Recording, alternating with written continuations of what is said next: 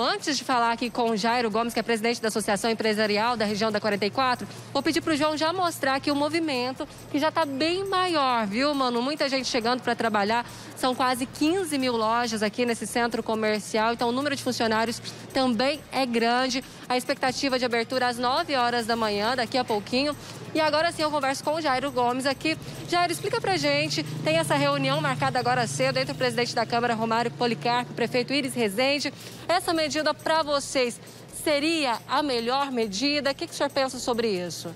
Olha, bom dia, bom dia a todos que nos assistem. Veja bem, eu acho que o que está acontecendo, essa incerteza com a região da 44, não dá para aceitar. E o presidente da Câmara, Romário Policarpo, ele se posicionou para fazer essa interlocução com o prefeito. É isso que nós estamos pedindo e levando até o prefeito uma sugestão. Não temos dificuldade nenhuma em cumprir esse, esse, esse é, 14 por 14. Agora, desde que nós ficamos abertos o primeiro 14 dias.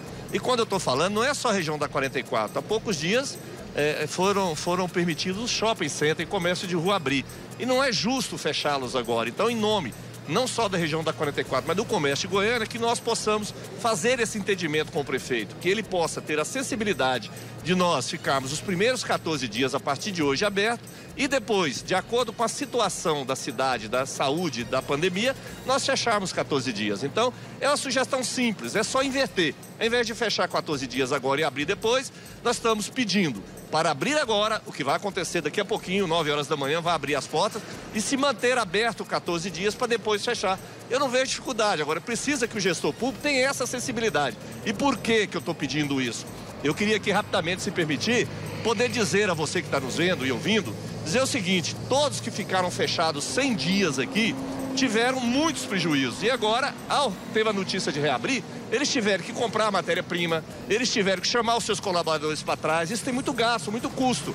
E tem pessoas aqui, o nosso microempreendedor, que vendeu carro, o carro dele passear para comprar matéria-prima, que buscou dinheiro em agiota, que buscou dinheiro no mercado financeiro, que arrumou dinheiro com a sogra, com o sogro. E não é justo que essas pessoas, depois de tanto trabalho, de tanto sofrimento, ficar mais 14 dias aberto estocando essa mercadoria que eles fabricaram nesses últimos 5, 6 dias. Então, é um pedido para o prefeito que ele sensibilize. Ele possa ouvir o presidente da Câmara, Romário Policarpo, que é o nosso interlocutor com ele, e aceite a nossa sugestão em nome do setor produtivo dessa cidade. Não é só em nome da região da 44, não. Obviamente que eu falo aqui em nome da Aero 44. Mas eu queria estender, em nome do setor produtivo, que nós possamos ficar aberto 14 dias e depois fechar. Eu não vejo dificuldade, nada contra o governador Ronaldo Caiado, muito pelo contrário, mas nós precisamos desse entendimento. Tá certo, muito obrigada pelas informações. Existiu também toda uma preparação da higiene das lojas, né, das ruas aqui, a disponibilização de álcool em gel, todo mundo se empenhou para receber não só funcionários, mas também todos os clientes. Mano, a gente reforça, as ruas estão fechadas, inclusive proibido estacionamento.